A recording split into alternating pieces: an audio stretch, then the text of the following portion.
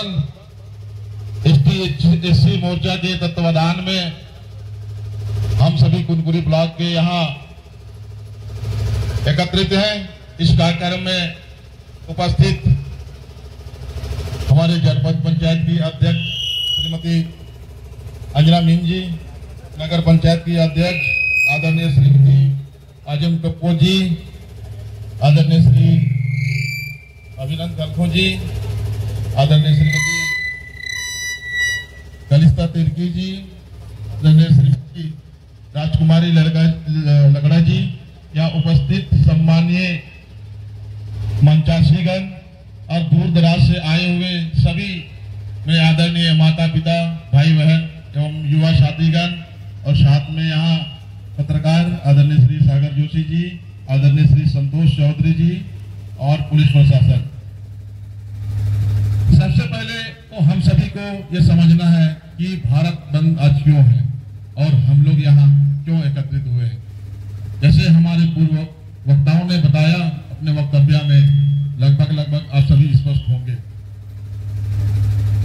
उठो, जागो, शिक्षित बनो और अपने हक अधिकार को समझो।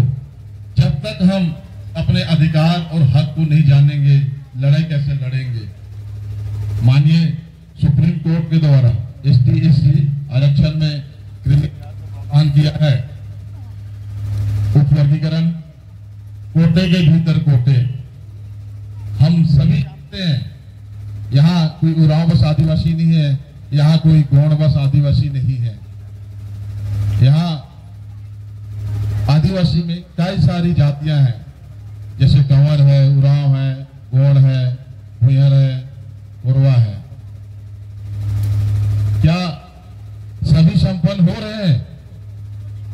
आज यहाँ से, हमारी स्कूलपुरी विधानसभा से, हमारे कंवर साहब, समाज से, विधायक बन के आज हमारे छत्तीसगढ़ के मुखिया बने हैं, आदरणीय श्री मुख्यमंत्री विष्णु दोसाई जी। क्या उनके आगे बढ़ बढ़ जाने से पूरा उनका समाज संपन्न हो जाएगा?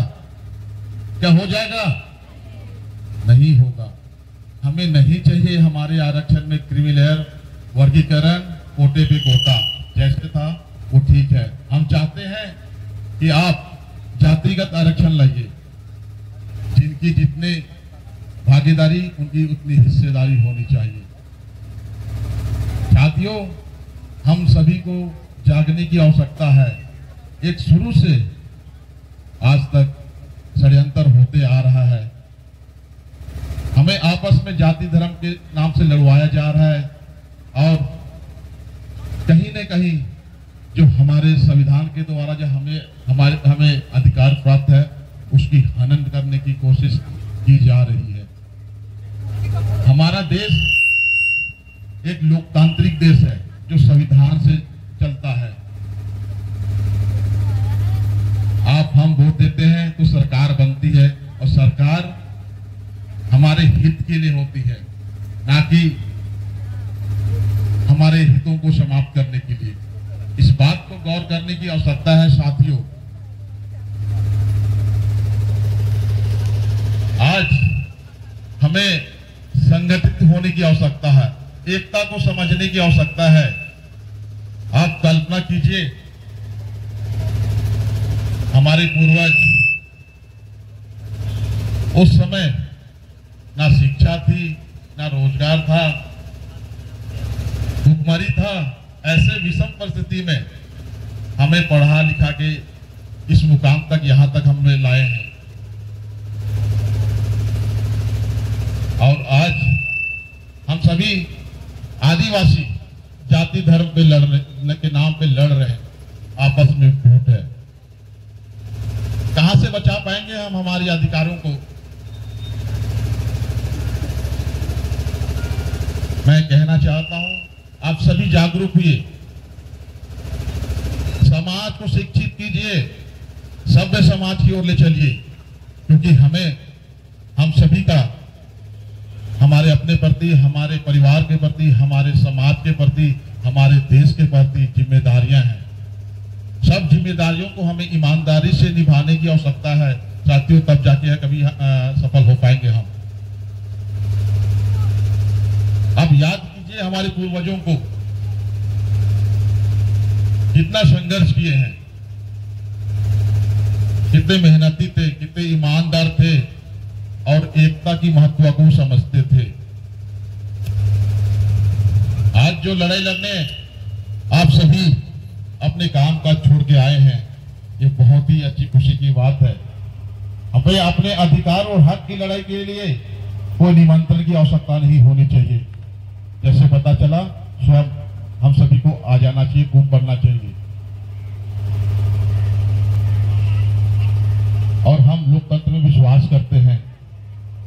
आज केंद्र में मोदी सरकार है। हम मोदी सरकार से गुजारिश करना चाहेंगे।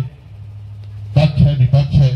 कुछ भी कानून बनता है, संसद में पारित होता है, पक्ष विपक्ष में विचार विमर्श होता है। उसके बाद में लागू होता है। हम लोकतंत्र को मानते हैं। मैं कहना चाहूँ, आप सभी जान जाएँगे, जहाँ भी आवश्यकता पड़े, हमें डट के खड़े होने का खड़े होना है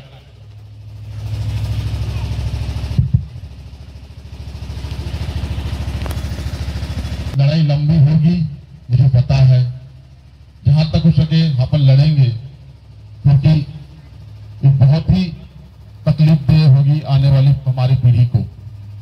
हम उनके लिए लड़े लड़ रहे हैं, हम अपने लिए लड़ रहे हैं, हमारे समाज के लिए लड़ रहे हैं, हमारे आदिवासियों के लिए लड़ रहे हैं, हमारे एससी समाज के लिए लड़ रहे हैं।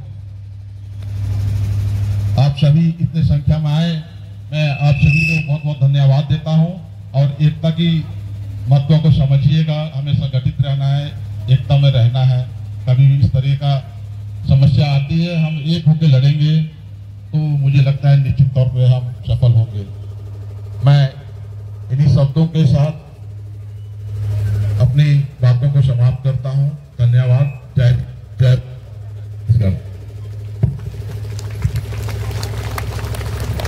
जोरदार एक बार ताली बजाएँगे।